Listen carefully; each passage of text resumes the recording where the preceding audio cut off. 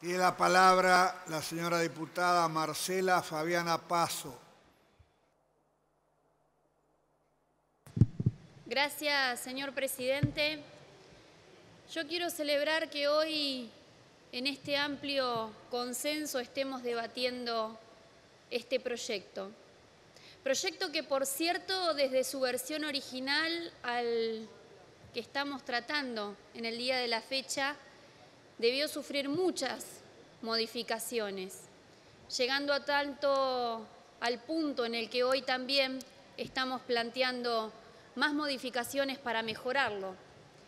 Y eso es porque estamos convencidos de que intentamos lograr la mejor ley posible en el combate de la violencia en el fútbol y en la lucha contra las mafias. Yo esto lo celebro porque creo que está claro que tenemos que dar una gran señal a la sociedad argentina respecto de aquello que nos reclama y que tiene que ver con este gran flagelo que nos toca sufrir y que se trata de la violencia. Violencia que es un mal que está enquistado en las entrañas de la sociedad toda desde hace muchísimo tiempo. Violencia que ha logrado apoderarse de nuestras calles, de la propiedad privada, de la vida de nuestros conciudadanos y también ha logrado apropiarse de nuestros miedos, de nuestros temores. Y a ello lamentablemente no es ajeno el mundo del fútbol. No hay dudas de que en este, como en muchos otros temas, señor presidente, hace falta un cambio cultural profundo en la Argentina. No hay dudas de que existe un gran clamor social que nos exige a los representantes del pueblo apuntalar y acompañar ese proceso. Pero tampoco hay dudas de que en este tema se trata de una tarea que no corresponde exclusivamente al Poder Legislativo. No nos engañemos, señor presidente, ni la mejor ley sancionada en este Congreso tiene utilidad si no hay un poder ejecutivo capaz de montar operativos de seguridad serios y eficaces frente a un espectáculo deportivo o frente a cualquier espectáculo de cualquier naturaleza. Ni la mejor ley tiene sentido si no tenemos tampoco un poder judicial que aplique las sanciones de manera oportuna y efectiva. Para ser más claros, si no logramos tener más jueces que impartan justicia. Los detalles respecto a nuestra postura frente a este proyecto ya lo ha expresado nuestra compañera Carla Pitiotti, las propuestas de modificación que vamos a hacer. Yo solo quiero destacar que con respecto al incremento de las penas para delitos perpetrados en el ámbito del fútbol, creo que estamos dando una señal legal concreta del camino que tenemos que transitar para combatir esta situación de violencia en el fútbol.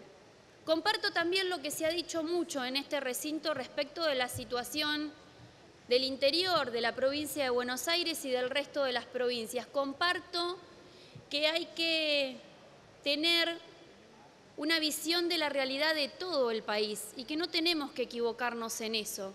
Considero que es muy importante que no nos equivoquemos en la interpretación de la realidad, porque también es cierto, señor presidente, que ninguna ley tiene sentido si nos creemos una realidad virtual. Y con respecto a esto, cuando lo menciono, recuerdo lamentablemente las palabras del presidente Macri en oportunidad de referirse a aquel partido de la final de la Copa Libertadores cuando nos decía que ya habíamos transitado un cambio cultural en la Argentina y que lo íbamos a demostrar en aquel partido. Redobló la apuesta diciendo también que estábamos incluso preparados para poder tener público visitante en aquel partido.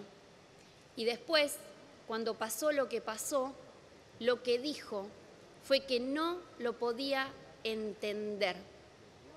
Y ahí es cuando yo advierto, señor presidente, que tenemos un gran problema, un problema de responsabilidad o cuanto menos un problema de interpretación de la realidad, porque cuando uno cree que las cosas van a ser de una o de otra manera, sencillamente porque uno las dice, cuanto menos uno está equivocado y cuanto más uno es un irresponsable.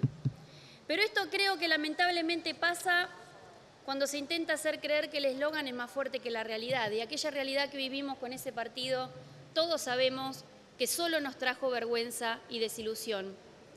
Así que para finalizar, solo decir que creo que solo seremos capaces de torcer este camino sin destino si reconocemos la realidad seriamente, si enfrentamos los problemas sin especulaciones, si cada cual desde su lugar aporta sus mejores elementos para tratar de construir una Argentina mejor. Y creo además que el Poder Legislativo en el día de hoy está dando un gran paso en ese sentido. Espero que los otros poderes estén también a la altura de las circunstancias para que no nos pase que tengamos que seguir siempre corriendo atrás de las tragedias o de los títulos periodísticos. Muchas gracias. Muchas gracias.